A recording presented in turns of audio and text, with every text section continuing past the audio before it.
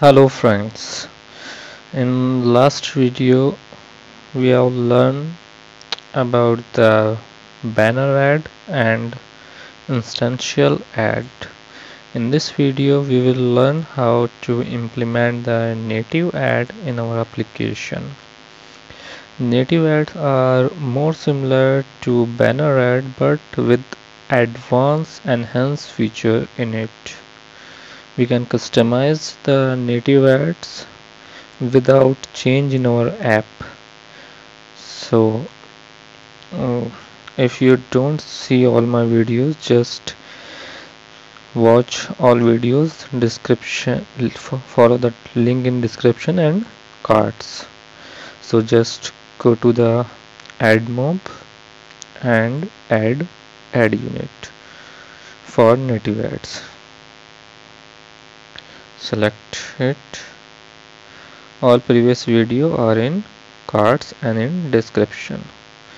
So here is the three types small large. I will select the second one and here's the template types also to customize. So select the second one. I will select you can select anyone according to you. Here we can change customize this template according to yourself. So text title button and also it will provide the css file. By it we can change the designing of button and everything what we would like to change. I don't change anything just validate it. And we also customize the refresh rate also. I will provide the ad unit name demo native and click save so here it is the ad unit id and it also provide the width and height in dp also. So just select the app unit id select it and copy this and paste it in our notepad and done it. So here's all three ads are available. Just go to our studio and we will work this ad in second activity. So active second activity act.xml and now we will change the layout here firstly. Firstly we use the linear layout here and uh, orientation vertical. So here is the orientation will vertical okay now change the xml to app to ads. Okay is it and now we will provide here the native ads. So we will include the native ads. Native express ad where the wrap content height wrap content. And now we will provide some gravity here. Center layout gravity center okay change it to horizontal layout center horizontal okay? And provide the margin from top to 25 dp and provide an id to second native okay? Everything is done here. And now provide the ad unit.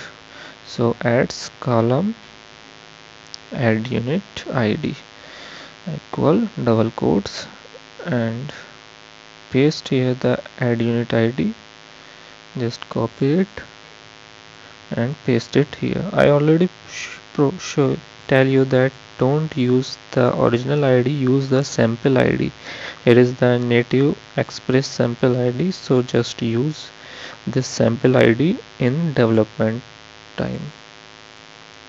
So okay everything is done here now provide the size for it. Ads col ads column size equal 300 300 into 220 so here we use the sign for into is to x small x.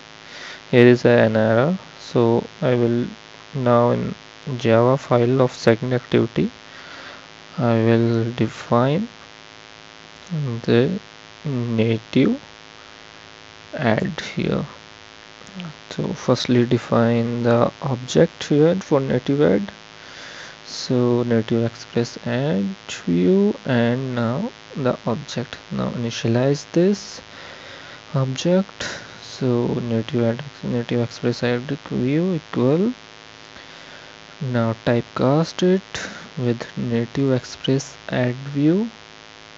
So here it is typecast and now find view by id so just r dot id dot second activity.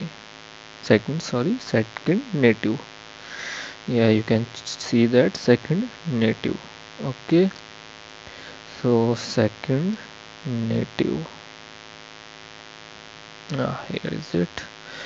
Okay now we will initialize to load this add so native add view dot load add now add the request new add request. Add request okay add request. Oops where is it? Yeah add request. Oops. Remove it. Add request dot builder dot build.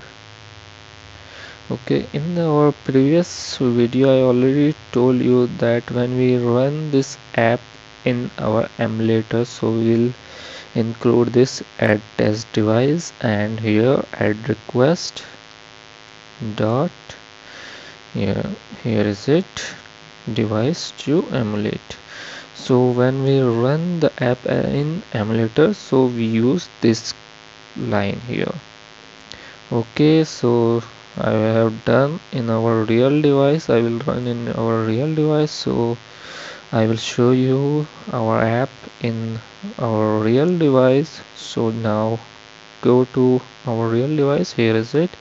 You can see the banner ad in the and a button for move to second activity. So when we click this button the interstitial ad will show. Here is it. You can see the interstitial ad when we close the second activity and here is the native activity. So friends if you like this video then if you not subscribe my channel then subscribe my channel and like this video if so thank you friends